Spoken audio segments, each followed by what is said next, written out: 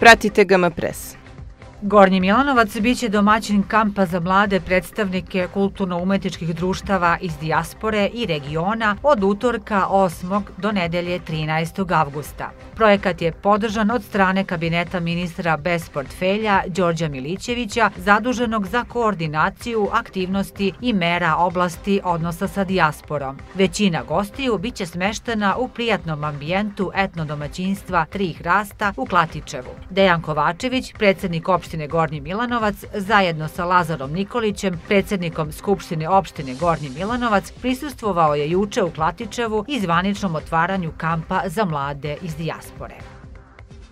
Opština Gornji Milanovac uz e, pomoć ministarstva e, organizuje kamp za našu decu iz dijaspore koja se pre, prevashodno bave folklorom. Preko 70 dece iz sedam država je ovde u Gornjem Milanovcu i želim da se zahvalim ministru Milićeviću što je prepoznao opštinu Gornji Milanovac kao dobrog domaćina koji ovaj zadatak koje je ministarstvo E, postavilo pred nas može da iznese. Moram da pohvalim ideju i inicijativu da se e, deca iz dijaspore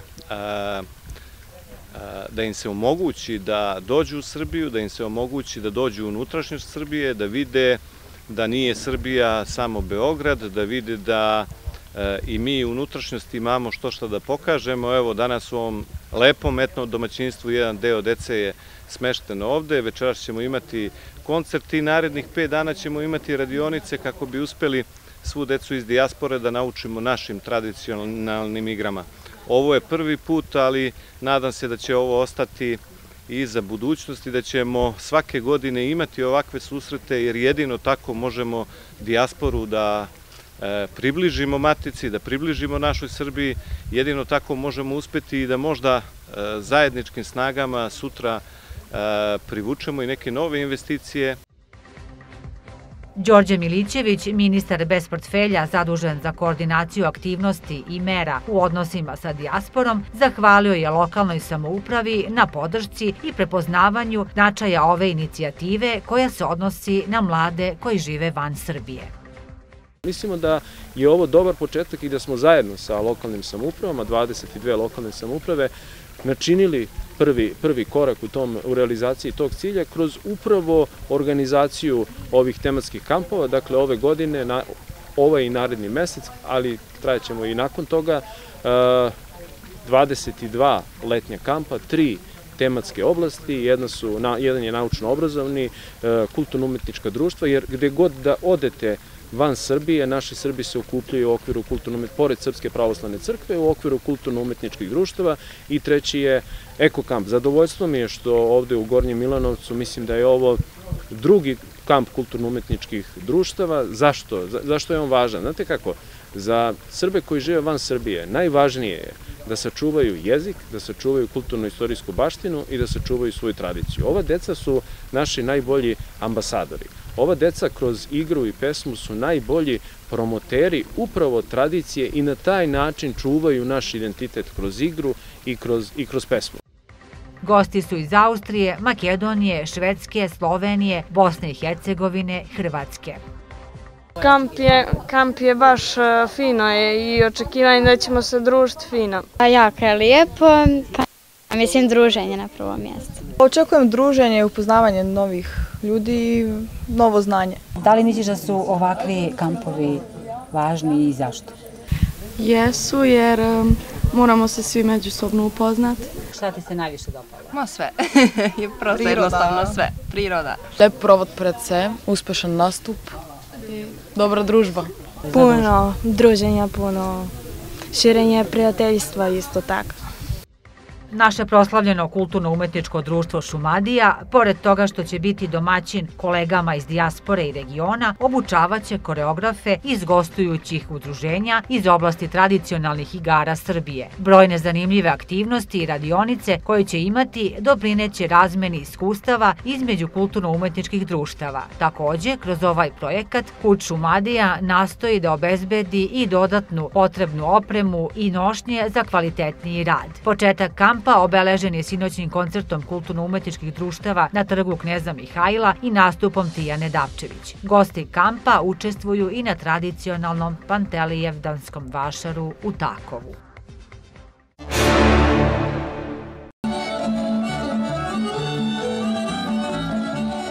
Do nedelje 13. avgusta članovi kulturno-umetničkih društava iz šest različitih zemalja boravit će u Gornjem Milanovcu u okviru projekta Kampovi za mlade predstavnike kulturno-umetničkih društava iz dijaspore i regiona.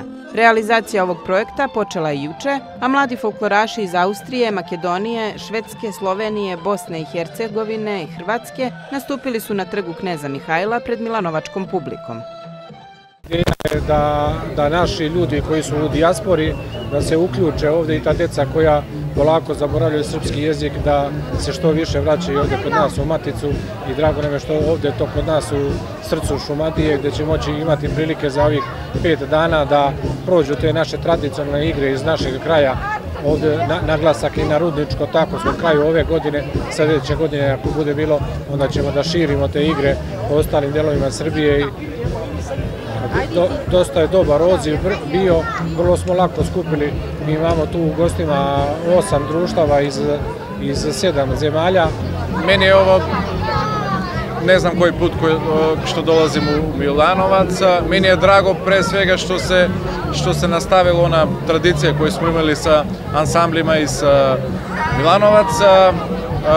Ova organizacija je normalno da je, da je stvarno dobra i ja se nadam da da će ova saradnja da, da produži baš, bar još 10, 15, može i ne znam, 20 godina.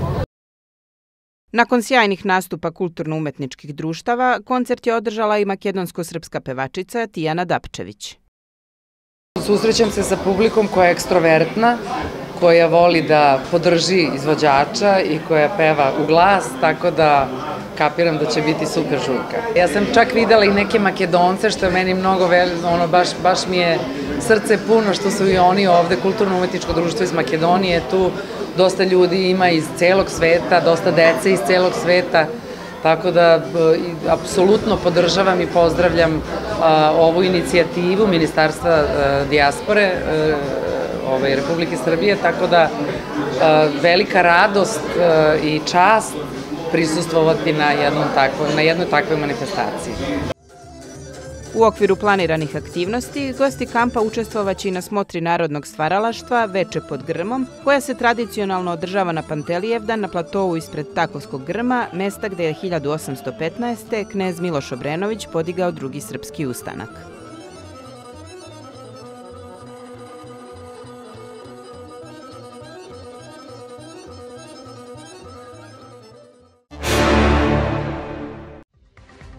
Srpska pravoslavna crkva i njeni vernici danas proslavljaju svetog Pantelejmona.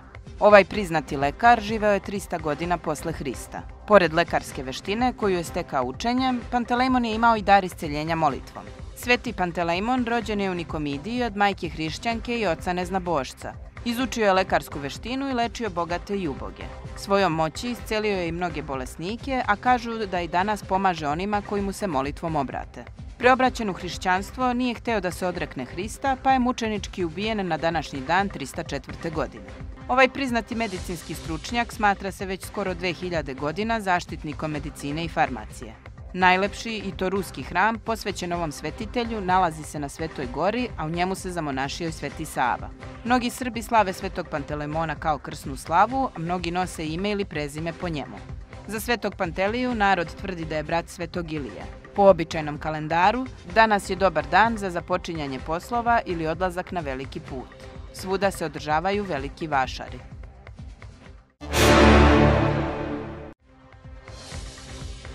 Danas je tradicionalni Pantelijevdanski vašar u Takovu, čije su pripreme počele još u oči događaja. Tu su i stalni izlagači iz Smedereva, Čačka, Ljiga, Mionice, koji kažu da su vašari svuda sve lošiji i da su izgubili onaj stari sjaj.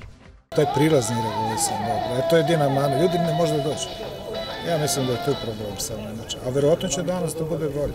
Ni pola nego što je bio. Mnogo lošije ove godine nego što je bivalo. Od puta pristupnice ovde da se dođe, pa možda i financijske krize. Pa da vam kažem slabo. Mi ovde dolazimo od 10 godina i svake godine je sve lošije i lošije. Ali u svakom mestu, da vam kažem, sve manji i manji su vašari. To je stvarno šteta da se uništi ta, ta tradicija, da vam kažem, e, vašara i, i ovih slava, mislim, možda. Pa nije loše, po nek, prošle godine bilo bolje. Sad ove godine nešto slavo.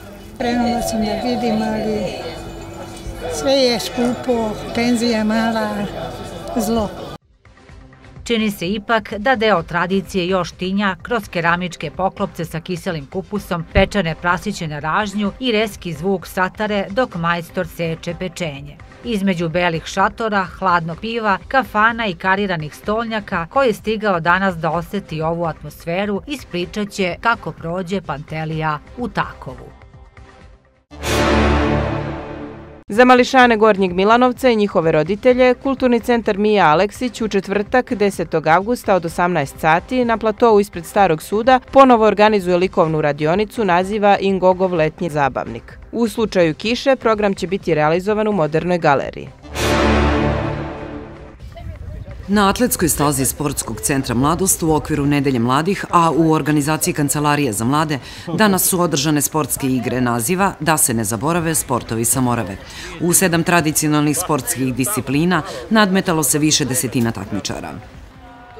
Neke od sportova jesu navlačenje konopca, bacanje kamena sa ramena, nabacivanje obruča, takođe tu su nam i skok u dalj, e, zatim imamo i streličarstvo, to na primjer prošle godine nije bilo, ali ove godine ćemo uključiti i tu disciplinu kako bi mladima pokazali kakve su to čari streličarstva i da pogledaju možda da se priključe streličarskom klubu, jer zaista imamo odličnu saradnju sa njima i mladi su veoma zainteresovani za, za sam taj sport. Tu su takođe i brojni drugi, brojne druge discipline kao što su i trka ljudskih kolica, zatim skakanje u vrećama i sve su to neki sportovi za koje nije potrebna neka posebna infrastruktura i mogu se obavljati bilo gde. Evo mi smo danas ovde na atletskoj stazi koja sjajno izgleda, ali mi ćemo koristiti samo da kažemo neke tradicionalne stvari za održavanje ovih sportskih igara. Cilj manifestacije koja je drugi put organizovana jeste negovanje sportskog duha među mladima, ali i čuvanje starih sportova od zaborava.